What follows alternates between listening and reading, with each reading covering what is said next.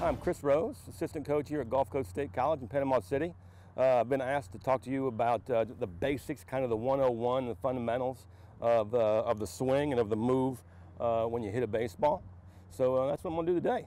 Um, I'll start everything kind of like Coach Schuster did with his pitching deal, uh, is we're going to teach everything basically from the ground up.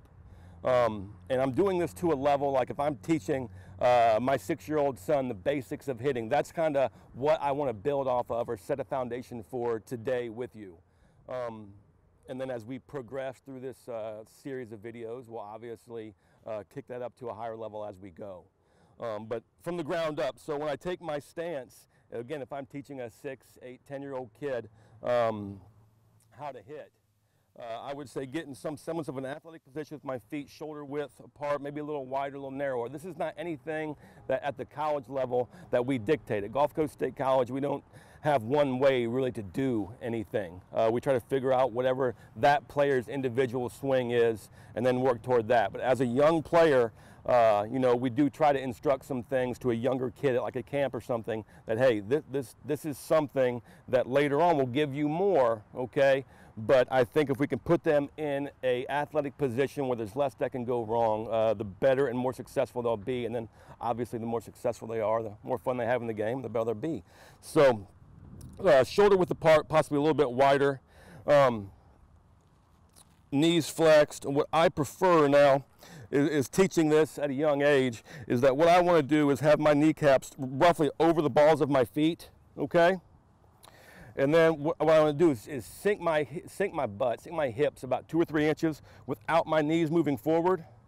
Okay, that sets me into place. It kind of sets my hips and gets me into my hips. Okay, and it also sets the angle of my body, kind of like this from this angle. Okay, so it takes my chest out over my knees. So in a strong and athletic position. And I kind of want to maintain that. Now you'll see some big league hitters that get into that position, okay, through their move okay? But as a young hitter, I would say let's go ahead and just start him in that position, in that strong position, okay? So feet shoulder width apart, knees over balls of feet, hips lowered without knees moving forward, which sets my spine angle, all right?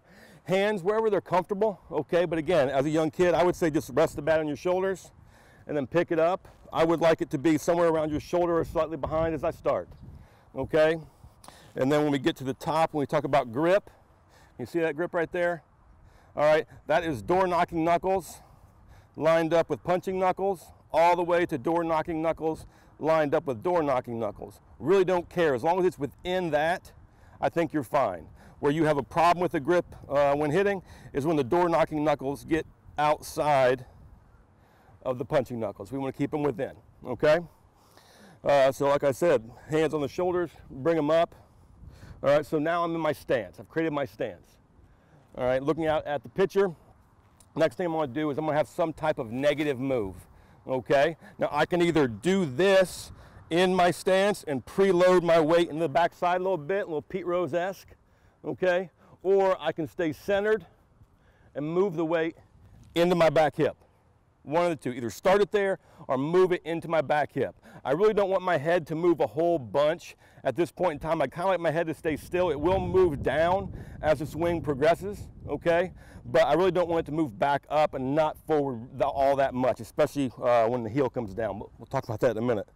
Um, so into my back hip, oh, that's my load. My rhythm into my load is getting my weight into my back hip and ready for my forward move.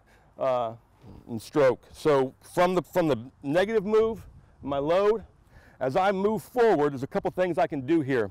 When I take my stride, I don't care if you leg kick, okay, quick step, I don't care how you do that. It doesn't matter to me, okay? What I want is just rhythm. I don't even care if you stride at all. I don't care, okay? But I want some semblance of rhythm getting into my back hip, okay, keeping that posture strong.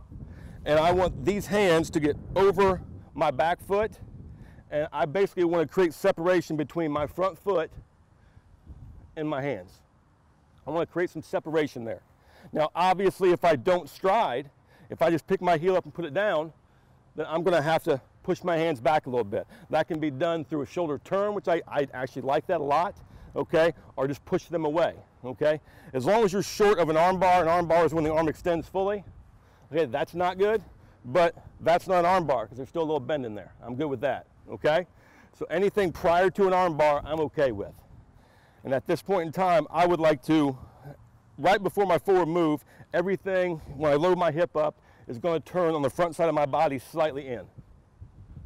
Okay, so I'm going to coil slightly on the front side of my body. And then forward move, get my stride foot down on time.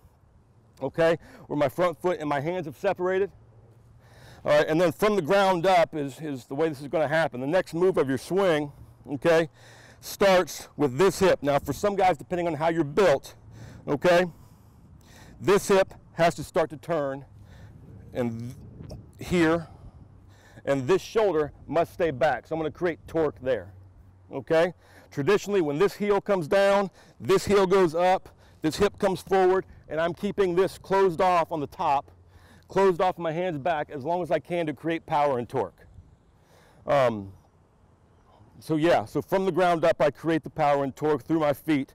Heel down, heel up, hip starts forward, and I'm trying to stay closed off with my torso as long as I humanly can. And then when I release that, okay, release the barrel forward, okay, I'm going to try to get on plane of the, of the pitch and stay on plane. For me, I would just teach kind of a flat plane, and if you have power, obviously, we want you to hit the ball higher in the air. I mean, I think it's that simple. Uh, but if you're eight years old, you don't know if you have raw power or not. So just try to stay flat and stay on plane through the ball and get extension. So you're going to move, move the barrel, Okay, we turn that forward and move the barrel into the slot. We get, we stay connected. This means we're connected. My elbow and my body, we're connected. And once I get to right there, that, that contact point with the pitch middle, middle, my hands start to separate from my body.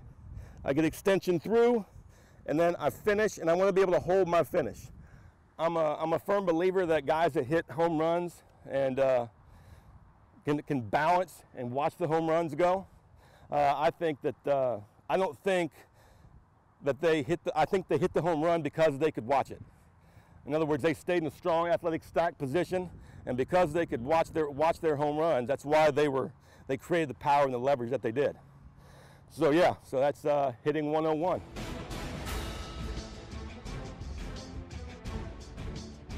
Uh, hey, tip of the day, uh, wardrobe tip of the day. Okay, baseball players, pet peeve of mine Here's way we wear a hat. Move the hair back, pull the hat down. No hair under the bill of your hat because we're not at the beach. Okay, we're in Panama City, but we're not at the beach right now. All right, you can wear your hat like this when you're at the beach, that's fine, I don't care. But when you're playing baseball, and if you want to be recruited or seen, you need to have no hair under the bill of your hat.